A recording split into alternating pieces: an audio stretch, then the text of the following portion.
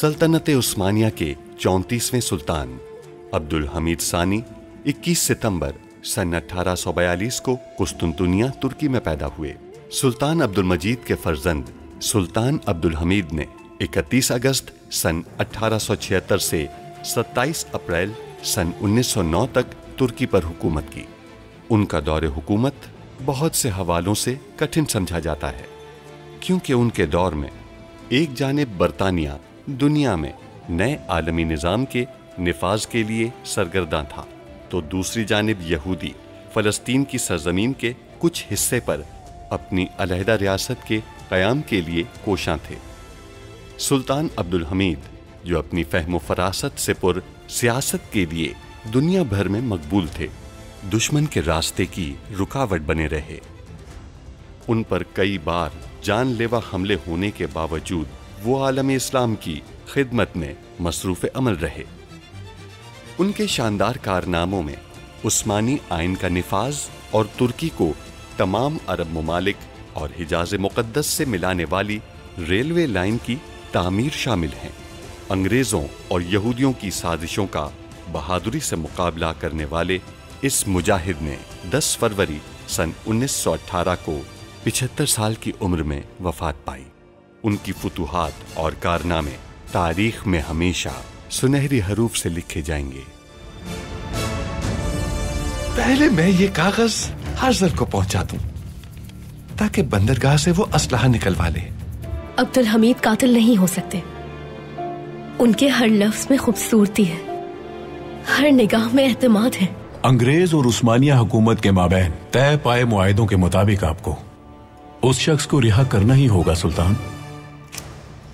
शहजादा अब्दुल कादिर ने अपने दस्तखत कर दिए हैं। अब वो आपका शराकतदार है। पाशा उस अंग्रेज़ जासूस को अगर उस्मानी अफसर ज़ाहिर किया जाए तो। बेहतर होगा कि तुम ये वर्दी पहन लो। हम तुम्हें महल से उस्मानी वर्दी में ही निकाल सकते हैं। पाशा सुल्तान का हुक्म है कि इस जासूस से तफ्तीश मुकम्मल नहीं हुई। उनका हुक्म है कि इसे वापस लाया जाए। और ये दरमियान में कौन है? सुल्तान ने जिस जासूस को फलस्तीन भेजा था वो है ये। सच कह रहे हो तुम? ये उस्मानी जासूस यानी कि आपका बरतानवी जासूस आपको मार डाले। इसके बाद वो अपनी बरतानवी शहरियत से महरूम हो जाएगा। पहले ये असलहा तो ले लें हम फिर आपको अपना असल हुनर दिखाएँगे। अल्लाह तुम्हें सेहत कामिल अता करे बेटी। आमीन मेरे सुल्तान। कुछ याद है तुम्हें उस रात किसने हमला किया था? क्या हमला करने वाले मेहमद पाशा थे? नहीं मेरे सुल्तान। मैं मेहमद पाशा को जानती हूँ। इन्होंने मुझ पर हमला नहीं किया। क्या कुछ याद है तुम्हें हमलावर कौन था? नहीं मेरे सुल्तान। लेकिन मेहमद पाशा नहीं है वो आदमी। ठीक है बेटी तुम जा सकती हो अब।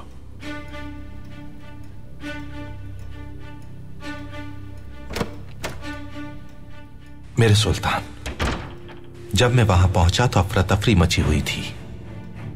मैं आपको या सल्तनत को नुकसान पहुँचाने का कभी सोच भी नहीं सकता। मेरे सुल्तान मैं आपसे माफ़ी का तलबगार हूँ। मेहमद पाशा हमने एक काम आपके जिम्मे लगाया था। जो काम आपके सुपुर्द किया था उसके अलावा किसी और मामले में ना उलझ थे तो हम आपको माफ़ कर देते। अगर आपने ऐसा ना किया होता तो आप पर कोई भी इल्ज़ाम ना लगा होता। मेरे मेहमद पाशा अगर आप हमारे इंसाफ पर उंगली उठाते हैं और किसी सिफारत खाने में जाकर सियासी पनाह मांगते हैं तो आपको रियासत के कानून के मुताबिक सजा दी जाएगी। मेरे सुल्तान अगर इजाज़त हो तो मेरे पास खास मालूम है।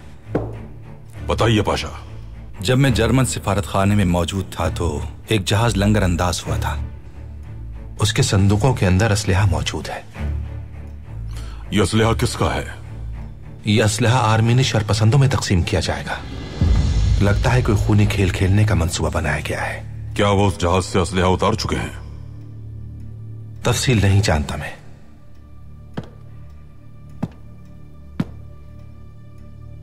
तहसीन पाशा कमालुद्दीन को तहकीकात के लिए भेजिए जो हुक्म मेरे सुल्तान।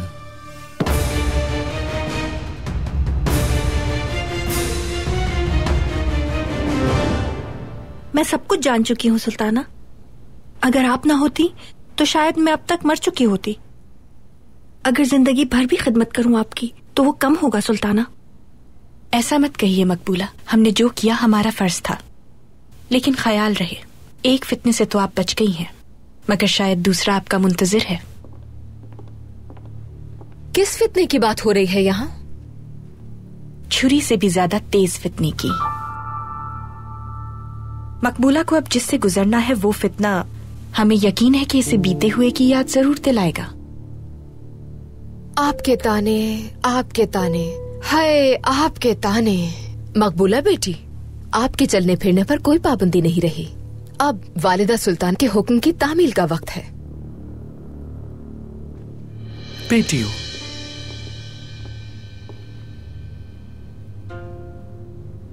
सेहत कैसी है तुम्हारी?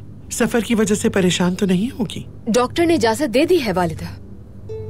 भूल चुकी हैं आप महल की रिवायात को। हम उससे ही जवाब सुनना पसंद करते हैं जिससे हमने सवाल किया है। अब बेहतर हूँ वालिदा सुल्तान। खुद को तवाना महसूस कर रही हूँ। अच्छी बात है। अब हमारा कयाम तमाम हुआ। जिसने बारह साल के सिन में माँ को खो दिया, उसे हमने ऐसे पाला जैसे अपनी औलाद हो। सुल्तान इब्न सुल्तान अब्दुल हमीद खान की वालिदा, रहीम पेरस्तु वालिदा सुल्तान हैं हम। इस महल में जो भी हमारे सुल्तान के हुक्म की खिलाफ वर्जी करेगा वो हमारी और सल्तनत की निगाह में संगीन जुर्म का कसूरवार ठहरेगा और जो भी रियासती उमूर में मुदाखलत का मुर्तकब होगा, वो ये बात अच्छी तरह जान ले के उसका अंजाम बर्बादी और हलाकत के सिवा और कुछ नहीं।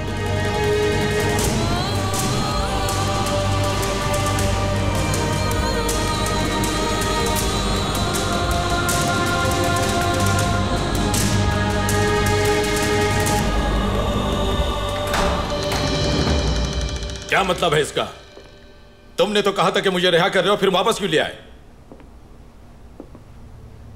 अपनी आवाज़ ऊँची मत करो तुम वरना तुम्हारे सात टुकड़े करके सात मुमारिक में दफन कर दूँगा। तुम लोग बैन अवी कवानीन की खिलाफ वर्जी कर रहे हो। मैं एक अंग्रेज़ शहरी हूँ तुम लोग मुझे हाथ भी नहीं लगा सकते।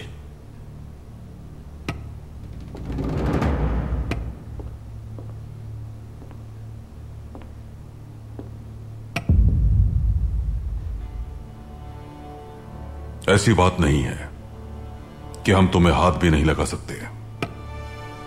बरतानवी हुकूमत का अला तरीन मुशीर तुम्हारा मुतालबा कर रहा है हमसे। हम उसे इनकार नहीं कर सकते। तुम मुझे रिहा कर रहे हो क्या? बिल्कुल। अब तुम आज़ाद हो। तो कातलियान होटल में जनाब हरबट तुम्हारे मुंतजिर हैं। उनका कमरा नंबर 24 है।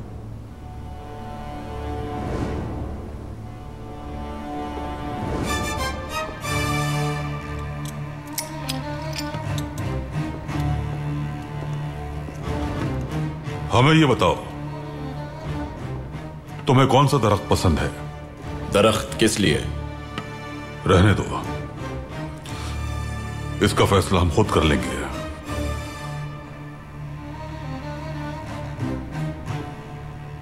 फर्जंद सिपाही भेजकर बलूत की लकड़ी मंगवा लो। लंदन बहुत दूर है। ताबूत पुख्ता होना चाहिए। जो आपका हुक्म मेरे सुल्तान।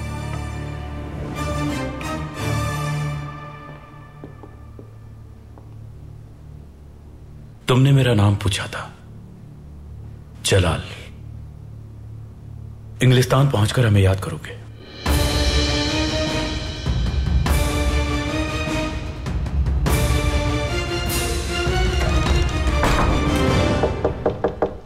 आ जाएँ। शहजादे। क्या बात है? एक खत आया है आपके लिए। सोचा खास होगा तो मैं फ़ौरन ले आया। ज़रूर कोई खुशखबरी होगी शहजादे। तुम जा सकते हो अब। आपकी खुशी बहुत मायने रखती है मेरे लिए शहजादे। शहजादे।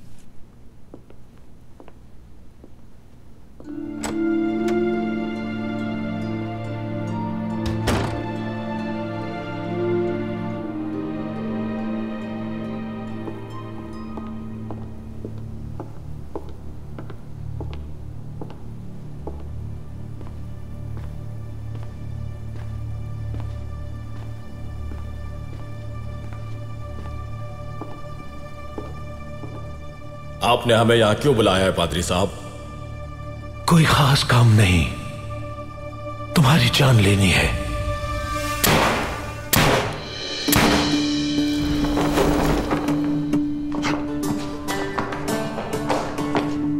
उम्र के आने से पहले आग न लग जाए बस।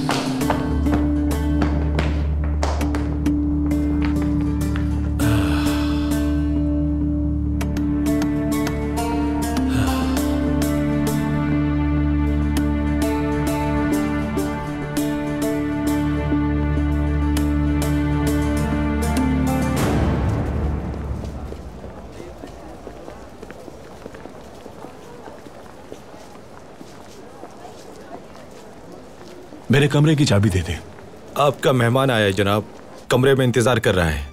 वो शख्स आपके मुल्क का शहरी है। उसका पासपोर्ट देखा है हमने।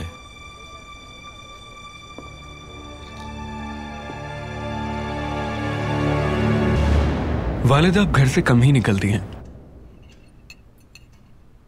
तो और क्या करें? जब तक उनकी बहू ठीक ना हो जाए वो हरम में मंडलाती ही रहेंगी। बस करें अब ऐसा मज़ाक मत करें मुझसे। उस मोटी का नाम सुनकर भी गुस्सा आ जाता है मुझे। मुझे नहीं लगता कि उस मोटी लड़की को यहाँ लाने में कामयाब हो सकेंगी वो। नामुमकिन है। मेरा भी ये ख्याल है। लेकिन जरा सोचें अल्लाह ना करे ऐसा हो गया और वो हमारे घर आ गई। तो क्या उससे मेरी शादी हो जाने देंगे आप? मुमकिन नहीं है शबातीन मुमकिन नहीं है। ऐसी मशरकी खातन से मुझे कितनी नफरत है ये बात जानते हो ना तुम? मुझे भी। अगरचे बेटा तुम्हारी वालिदा एक सुल्ताना है। लेकिन हमेशा से ही मगरब की खातन ही ज़्यादा पसंद रही हैं मुझे। मेरी ख्वाहिश है कि जिस लड़की से तुम्हारी शादी हो वो लड़की ऐसी हो कि जिसे देखकर लोगों के मुँह खुले के खुले रह जाएँ। मेरी भी यही ख्वाहिश है बाबा। आ, आ, खुश आमदीद सनिहा। बहुत शुक्रिया महमूद। बेटी अंदर आ जाइए। शर्माइए नहीं आ जाइए। हाँ। आ,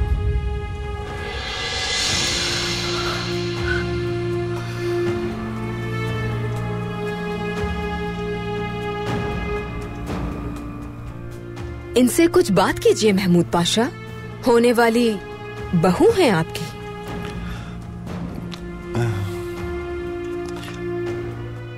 खुश आमदीद बेटी। जाइए बेटी खड़ी क्यों है?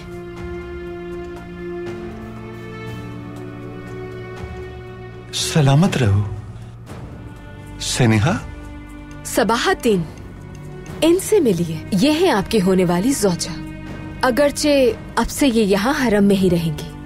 लेकिन हम चाहते हैं कि आप देख लीजिए। खुश आमदीद कहिए बेटा इन्हें। आह वालिदा आह सच कहूँ तो मेरे दिलो दिमाग में खुशी से आग भड़क उठी है। इससे पहले होश खो बैठू मैं। अपने कमरे में चला जाता हूँ।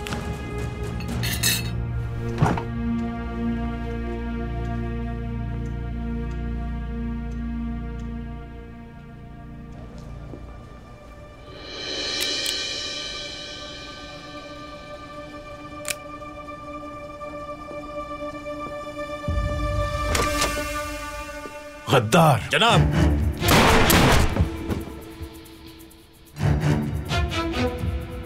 ये क्यों किया आपने तुम मुझे मारने आए थे नहीं जनाब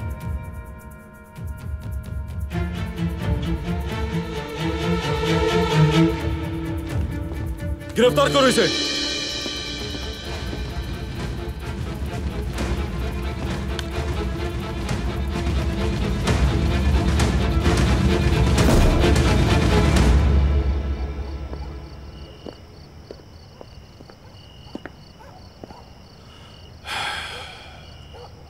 हवा ताज़ा है पाशा खुशगवार और फरहत बख्श। अंग्रेज़ जासूस को रिहा कर दिया है।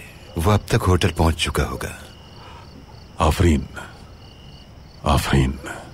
मुतमईन तो बहुत होगा वो बरतानवी कातिल। वो समझता था कि पाया तख्त से बचकर निकल जाएगा। मेरे सुल्तान आसन से मुतालिक हमने हरम में पूछगछ की है लेकिन कोई नतीजा नहीं निकला। किसी को नहीं मालूम कि वो कैसे गई। आसन अहम है। पाशा आसन अहम है। सारा को भी हमने खो दिया और लगता है कि आसन किसी तरह सारा तक पहुँच जाएगी। सारा खुद आएगी हमारे पास पाशा। फ़िक्र मत करें। आप जानते हैं, सारा हिदाया से मिलने से पहले ज़फ़र अफंदी से मशवरा किया था हमने।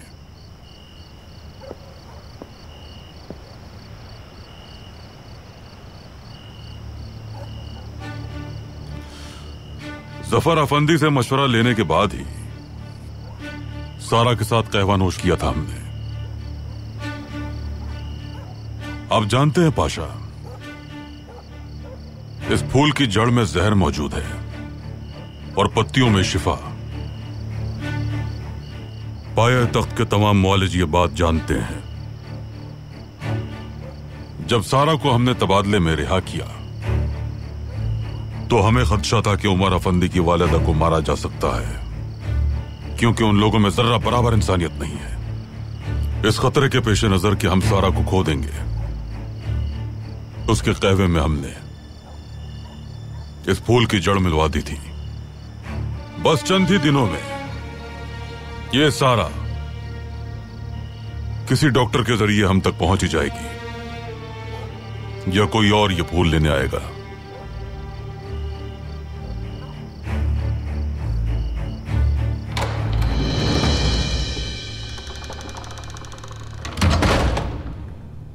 हिरम कहा हो तुम?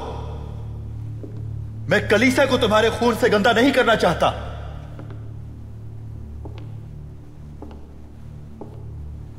कहाँ छुपे हो? सामने आओ।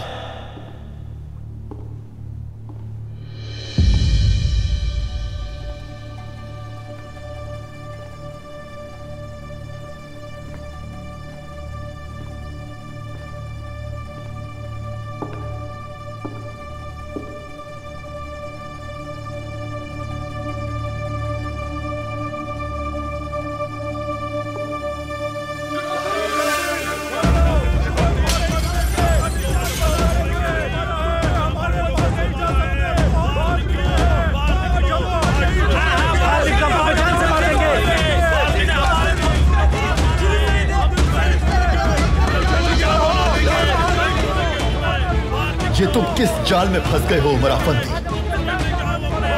क्या करूँ?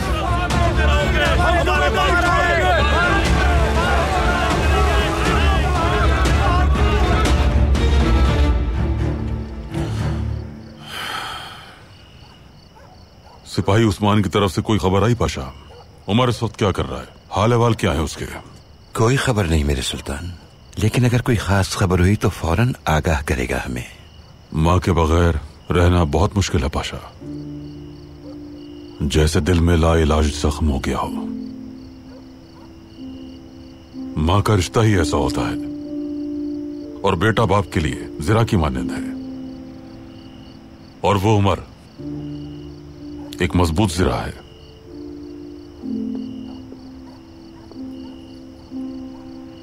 सुल्तान मौसम, हम बंदर का गए थे, लेकिन असला पहले ही उतारा जा चुका था। ये कैसे मुमकिन है फरजत क्या वो लोग सामान की तलाशी नहीं लेते? मेरे सुल्तान उन संदूकों को दो दिन तक बंदरगाह पर रोक कर रखा हुआ था। लेकिन कोई आया और सारा का सारा माल खरीद कर लेके आया इसलिए तलाशी नहीं ले सके। कौन? शहजादा अब्दुल कादिर।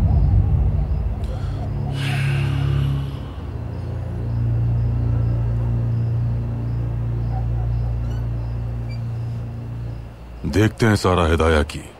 मदद के लिए कौन हाथ बढ़ाता है?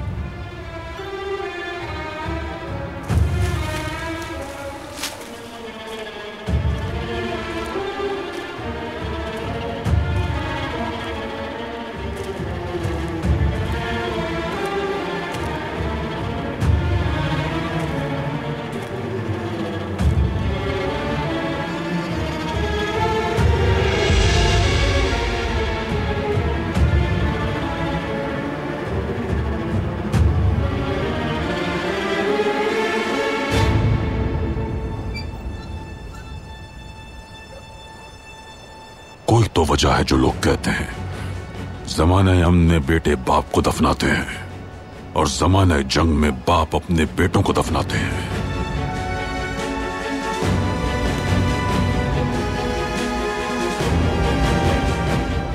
अंदर जाओ और मेरा इंतज़ार करो।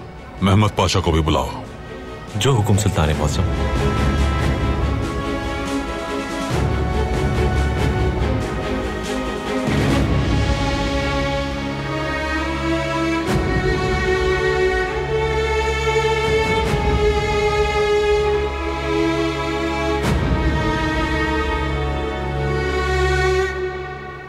शहजादा अब्दुल कादिर क्या हुक्म है मेरे सुल्तान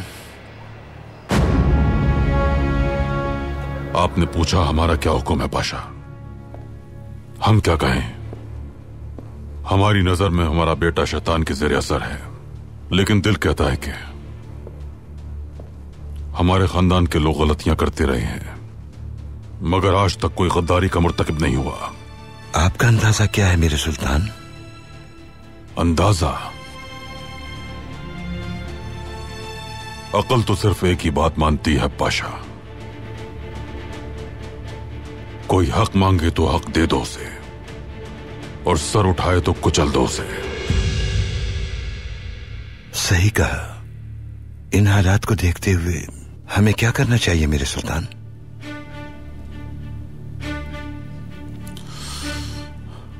हमें शहजादे की फितरत पर एतमाद है पाशा। उन्हें कुछ वक्त देकर आजमाते हैं कि वो इम्तिहान में कामयाब होते हैं या नहीं। या फिर गद्दारी के जहर को शहद समझकर पी लेते हैं। जैसा आप चाहें। सूरत हाल हसास है। फैसला आपको करना है। फैसला अल्लाह का होता है पाशा। हमारी ज़िम्मेदारी उसके फैसले को कबूल करना है। अल्लाह किसी को औलाद के इम्तिहान में न डाले। पाशा जी मेरे सुल्तान। फ़र्ज़ करें कि आप एक खेमे में हैं और उस खेमे में एक बिल्ली भी मौजूद है और एक प्याली दूध। दूध प्याली में मुसलसल हिल रहा है। बिल्ली की मूछें दूध से गीली हो रही हैं। तो क्या आप यकीन कर लेंगे कि बिल्ली ने दूध पिया है? शवाहिद तो यही बताते इसलिए यकीन कर लूँगा। हो सकता है कि दूध हवा से हिल रहा हो। और उस बिल्ली की मूछें गीली होने का सबब कुछ और हो। ना आपने अपनी आँखों से उसे दूध पीते देखा। क्या आपका फैसला गैर मुंसिफाना नहीं होगा? फैसला करने से पहले शवाहिद ज़रूरी होते हैं पाशा। अगर शहजादे ने गलती की है तो खामियाजा भुगतना होगा उन्हें। हम जानना चाहते हैं कि क्या वो वाकई कसूरवार हैं? तहकीकात कीजिए। अब मैं पुरसकून हो गया सुल्तान। ज़रूर पुरसकून होंगे। ज़रूर होंगे पाशा। हक ताला के फैसलों पर अमल करने वालों को राहत मिलती है। पाशा शहजादा बुरहानुद्दीन के मुअल्लिम से इजाज़त लीजिए और कहिए वालिद ने याद किया है। जो आपका हुक्म मेरे सुल्तान। मैं बेकसूर हूँ मैंने इन लोगों को नहीं मारा। मैं अल्लाह से डरता हूँ मैं किसी बेगुनाह को नहीं मार सकता। कातिल हो तुम झूठ बोल रहे हो तुमने है। मेरे पास सात गोलियाँ हैं। लेकिन मैं किसी को कत्ल नहीं करना चाहता। अंदर नहीं आना पीछे हट जाओ। कोई आगे ना बढ़े। बम है इसके पास। हो। बम है। पीछे हटो। पीछे हट। जाओ बम है। सुल्तान ने इस लड़के की हिफाजत की ज़िम्मेदारी मुझे दी है। अगर यह मरेगा तो तुम सब भी मारे जाओगे। उमर भाई फ़िक्र ना करें। मैं आ गया हूँ कभी किसी को अकेला नहीं छोड़ते हमारे सुल्तान मैं सच कहता हूँ मैंने इन्हें नहीं मारा यह मंसूबा आर्मीनियों को मुसलमानों से लड़वाने के लिए है तुम झूठ बोल रहे हो बकवास बंद करो अपनी सब जानते हैं कि इन्हें तुमने मारा है इनका कातिल वो बहरूपिया पादरी है और उसका नाम है हिरम आफंदी अपनी अक्ल को इस्तेमाल करो ताकि जासूस को तलाश कर सको भागो पीछे भागो,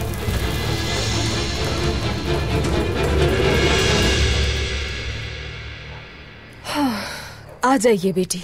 यहाँ बैठिए आप। बैठ जाइए, शर्माए नहीं।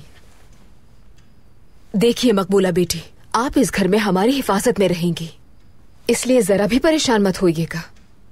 मेरी प्यारी बेटी, देखो। ये बात याद रखना, मुझ जैसे ताकतवर उस्मानी पाशा की हिफाजत में आने के बाद, अगर एक डरपोक चूहा भी हो तो जर्रा बराबर भी किसी बिल्ली से नहीं डरता फिर वो। इसलिए तुम बिल्कुल आराम से रहो। जब तक मैं तुम्हारे साथ हूँ, किसी से भी डरने की ज़रूरत नहीं तुम्हें। बेटी, हालात मालूम है। किसी नादान ने आपको छुरी मार दी थी। लेकिन नसीब की बात है कि आप अभी तक ज़िंदा हैं।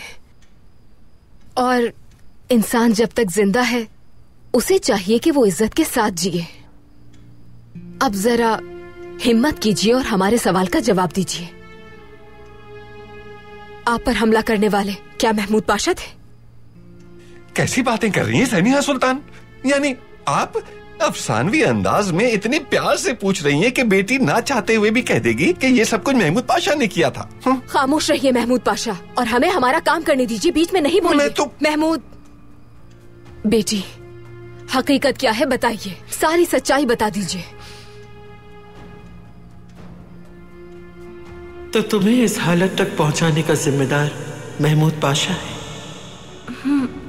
और स्नेहा सुल्तान इसीलिए तुम्हें अपनी बहू बनाना चाहती है ताकि उनके शोहर का नाम ज़ाहिर ना होने पाए। और बीदार सुल्तान ने इसलिए तुम्हारी हिफाजत की ताकि तुम होश में आकर उस शख्स का नाम बता दो जो वो चाहती है। सुनो बेटी जो बात तुमने हमें बताई ये किसी के इल्म में हर किस नहीं आनी चाहिए। मैं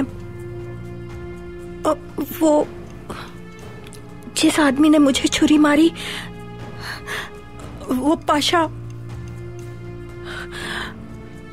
महमूद पाशा नहीं है, सुल्ताना। हाय, अल्लाह राज़ी हो तुमसे, बेटी। हाय, अल्लाह राज़ी हो तुमसे, बेटी। हाय, अल्लाह राज़ी हो तुमसे, बेटी। यानी मैं बता नहीं सकता कितने बड़े बोझ से मुझे आज़ाद कर दिया। अल्लाह राज़ी हो तुमसे मेरी बेटी। अल्लाह तुमसे राज़ी हो। देख लिया आपने सनिया सुल्तान। आप मुसलसल मुझ पर शक कर रही थी। आपको अपने रवैये पर अफसोस होना चाहिए।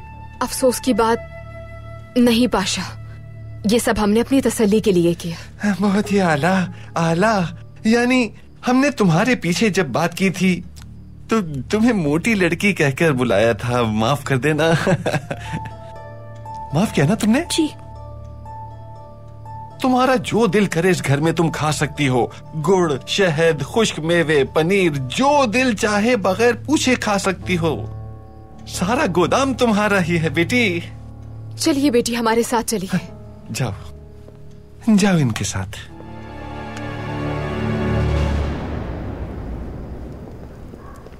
बुरी तरह जाल में फंस गया था भाई। अगर आप ना आते तो शायद मर चुका होता। अल्लाह राज़ी हो आपसे भाई। अपनी जान खतरे में डालकर। आपने मेरी जान बचाई। बहुत शुक्रिया भाई। उमर भाई मैं अपनी जान भी कुर्बान कर सकता हूँ सुल्तान के हुक्म पर। आपने भी शदीद खतरे में सुल्तान मौजम की जान बचाई थी। वो भी हर मुसीबत में आपका साथ देंगे।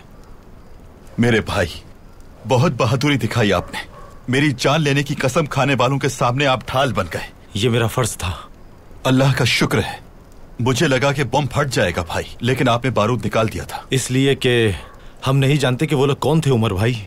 हम तो अपनी रियासत के लिए अपनी जान कुर्बान करने के लिए तैयार हैं लेकिन इन लोगों को धोखे से बुलाया गया होगा और उनमें मासूम लोग भी होंगे। किसी बेगुनाह की जान न चली जाए इसलिए बारूद निकाल दिया था मैंने। अगर उन्हें पता होता बम खाली है तो हम बच नहीं पाते। सुल्तान मोजम मुंतजिर हैं महल चलते हैं। नहीं मेरे भाई। अगर सुल्तान मौसम से मिला तो मुझे डर है इंतकाम की आग से महरूम हो जाऊँगा। आप जाएँ और मेरा सलाम पहुँचा दें। इन अपना इंतकाम लेने के बाद मैं सुल्तान के सामने हाजिर हो जाऊँगा। जैसे आपकी मर्ज़ी अल्लाह की अमान में रहें। बहुत शुक्रिया।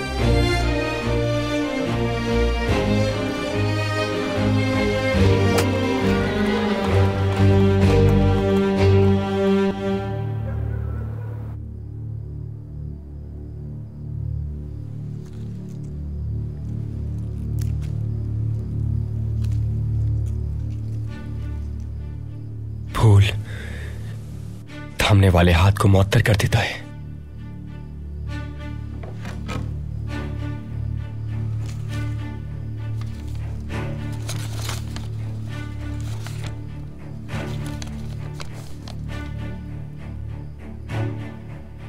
और आपने अब्दुल कादिर, थामने वाले हाथों को दिया ही क्या है?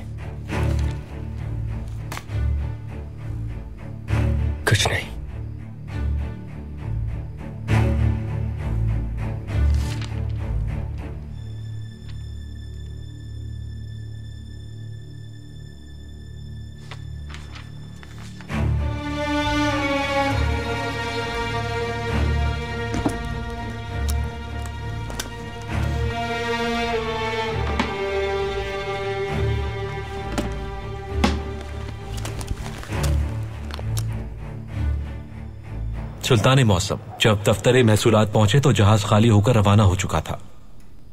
मेरी मालूम के मुताबिक वो जर्मन जहाज़ था। ऐसा ही है। मैंने जर्मन सिफारत खाने में काम करने वाले लोगों से सुना कि जहाज़ में मौजूद संदूकों में असलहा है। लेकिन जिन तकरीबकारों के लिए असलहा भेजा गया था वो उसे उतार नहीं सके क्योंकि दफ्तर महसूलात में तलाशी होनी थी। क्या आपको असलहा मिला? बदकिस्मती से पाशा जब हम वहाँ पहुँचे तो सामान उतार कर जहाज़ जा चुका था। क्या संदूकों की तलाशी ली गई थी? नहीं। जब संदूक उतारे जा रहे थे तो दस्तावेज़ के मुताबिक सामान शहजादा अब्दुल कादिर का था। इसलिए तलाशी नहीं ली गई। ये नामुमकिन है। ऐसा ही हुआ था पाशा दफ्तर में इंतराज था कि यह कपड़ा तिजारत की खर्च से लाया गया है। वहाँ से हम मालिक के दिए गए पते पर गए। वहाँ कपड़ा पहुँचा दिया गया था। इस सूरत में मुमकिन है मुझे गलतफहमी हुई हो। जब कभी अब्दुल कादिर का नाम किसी मामले में आता है आपको बहुत तशवीश होती है मेहमद पाशा। जो कुछ आपने सुना इस कमरे तक ही रहेगा। जहाज़ पर काम करने वाले एक मजदूर से जब हमने तफ्तीश की तो उसने तस्दीक की कि असलाहा जहाज़ पर मौजूद था। उन्होंने बड़ी सफ़ाई से अपना काम किया। सामान को अपनी जगह पर पहुँचा दिया और कोई सुराग भी ना छोड़ा लेकिन वो मजदूरों को भूल गए। पाशा हजरात को बुलाइए यहाँ। जो हुक्म मेरे सुल्तान।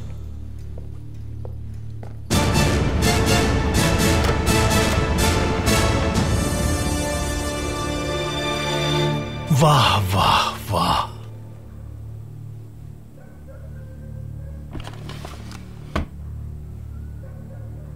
बहुत ही ज़बरदस्त। सवाल ही पैदा नहीं होता कि इससे निशाना चूक जाए मेरा। इससे तो मुर्दे भी डर जाएँगे। महमूद पाशा ने अपनी ज़िम्मेदारी अच्छी तरह निभाई है। महमूद पाशा चलाक लोमड़ी है। उसने शहजादे को धोखा दिया और दस्तखत ले लिए उससे। नतीजा ये कि हथियार हमारे हाथ में है। वो वाकई हर दरवाजे का ताला खोल लेता है।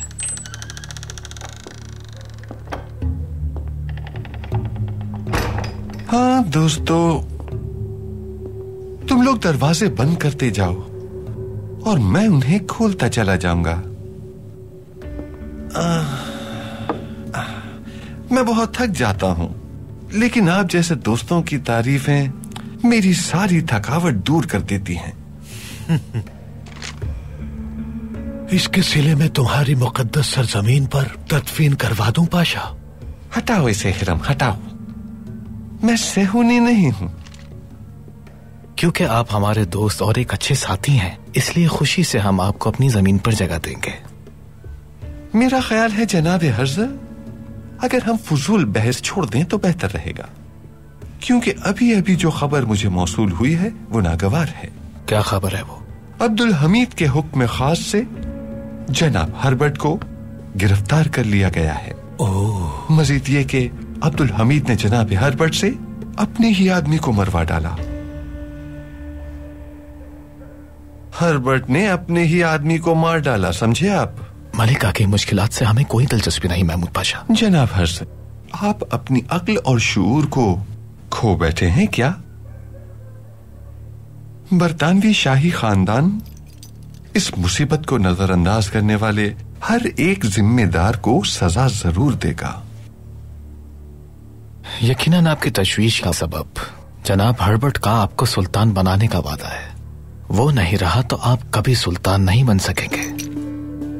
अल्लाह अक्ल दे, मुझे अपनी फ़िक्र नहीं है। मैं तो आपके लिए फिक्रमंद हूँ। क्योंकि जब एहतसाब का दिन होगा तो मैं जनाब पारवुस को अपनी कारकर्दगी बताऊँगा। मुझे यकीन है कि वो मेरी बात को समझेंगे, क्योंकि मैं जानता हूँ।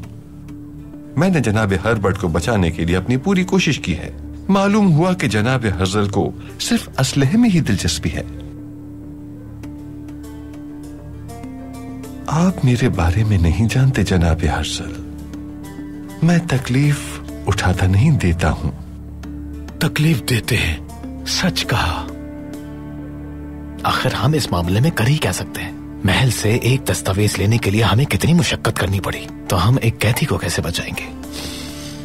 खुशकिस्मती से शुक्र है अल्लाह का मेरे पास एक मंसूबा है। पाशा? शहजादी हमने सुना है किसी फ़र्ज़ की अदायगी के लिए आप फलस्तीन गए हुए थे। जी। अल्हम्दुलिल्लाह फ़र्ज़ पूरा किया मैंने। आपको सलामत देखकर हम बहुत खुश हैं पाशा।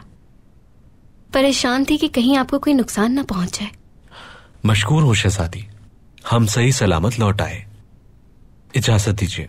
पाशा दरअसल हम आपसे कुछ ज़रूरी बात करना चाहते थे। शहजादी एक अहम मसला है जिसके लिए मुझे फ़ौरन जाना है। इजाज़त दीजिए।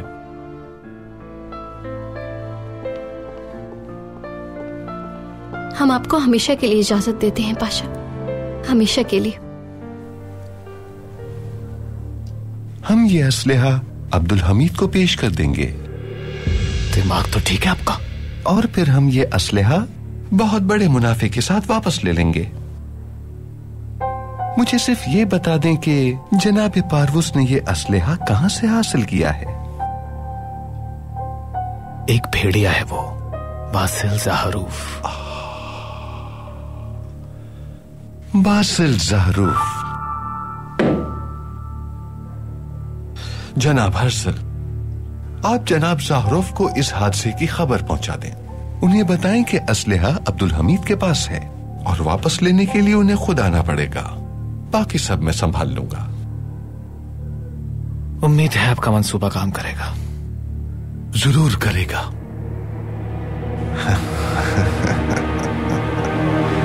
क्या तुमने इस अंग्रेज़ जासूस से पूछा था कि ताबूत किस लकड़ी का होना चाहिए?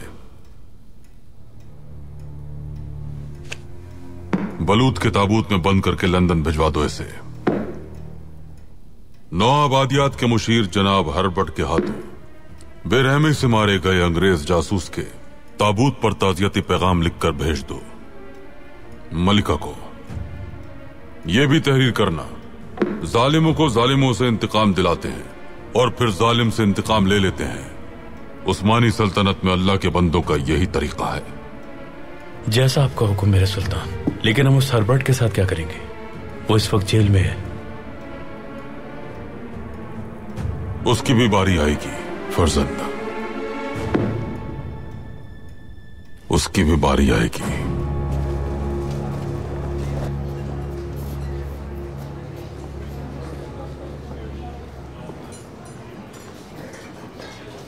खुश आमदीद जनाब। साहब समीर अफंदी को जानते हैं?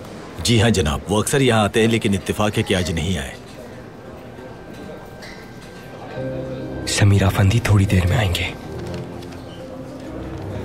ये खत उन्हें दे दीजिएगा। बेफिक्र हो जाइए जनाब।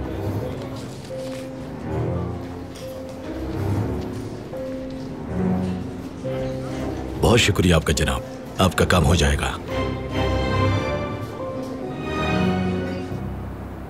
हमने एक अंग्रेज़ जासूस को गिरफ़्तार किया तो उन्होंने अपना मुशीर यहाँ भेज दिया।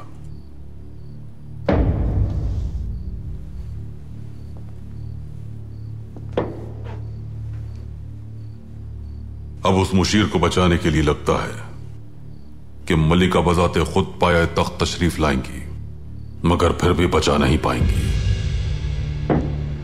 आपके सामने जो दस्तावेज़ रखी है वो उस्मानी शहरियत हासिल करने की दरखास्त है।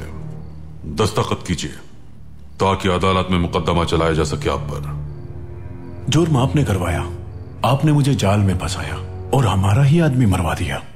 मैं आपकी जगह होता तो दस्तखत कर देता। जरा सोचे जो ये कर सकता है वो क्या नहीं कर सकता? नहीं करूँगा मैं। आपको मुझे मेरे मुल्क के हवाले करना होगा। मैं एक बरतानवी मुशीर हूँ। तो आप अपने मुल्क वापस जाने की ख्वाहिश रखते हैं। इनकी ख्वाहिश पूरी की जाए। जैसा आपका हुक्म मेरा सुल्तान। रुके। आप मुझे इतनी आसानी से क्यों रिहा कर रहे हैं? आपने सोचना शुरू कर दिया। अच्छी बात है। बात मान लें, ताकि हमें आपको उनके हवाले ना करना पड़े।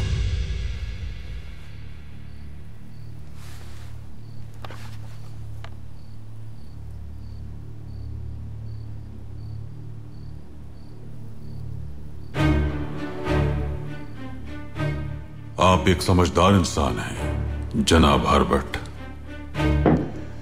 वजारत अदल को खबर करें। कातिल पर फर्द जुर्म आयद करने का कहें। जो आपका हुक्म सुल्तान मौसम हम स्नेहा पर दबाव डालेंगे और वो अपने बेटे पर। या तो उन्हें शादी जल्द करनी होगी या फिर मकबूला को वापस भेजना होगा। कल ले जाया जाएगा असलहा। कहा? इसे मार दो। मार दो इसे हिरम।